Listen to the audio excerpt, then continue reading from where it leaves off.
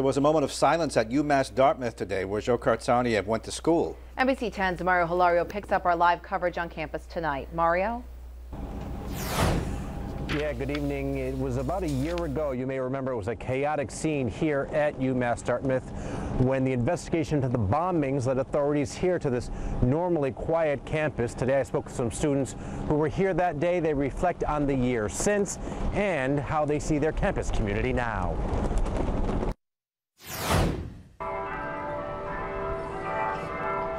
Bells toll at UMass Dartmouth following a moment of silence observed on campus.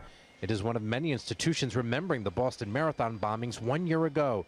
But for this campus, the terror that struck Boston hit close to home. We definitely rallied together and was a more tighter community after that. Junior Eric Krestunin lived in the same residence hall as suspect Dzhokhar Tsarnaev.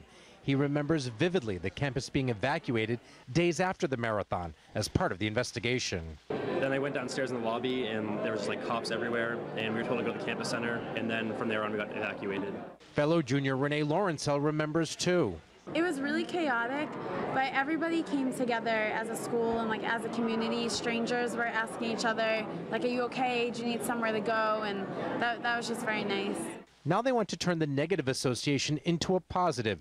The two are running in this year's Boston Marathon and raising money for the Krystle Campbell Scholarship Fund. She was a UMass Boston alum who died in the bombings.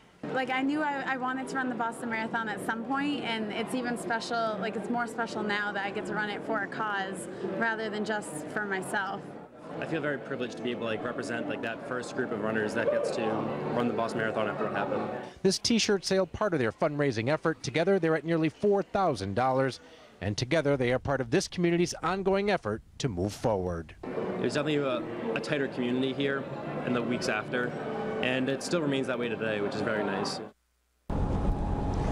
Now, students at all of the UMass campuses have raised about $50,000 for that scholarship fund so far. Here in Dartmouth, they plan to hold a vigil tomorrow at noon to officially mark one year since the Boston Marathon bombings that was rescheduled from today because of the weather. We're live in Dartmouth. Mario Hilario, NBC 10 News.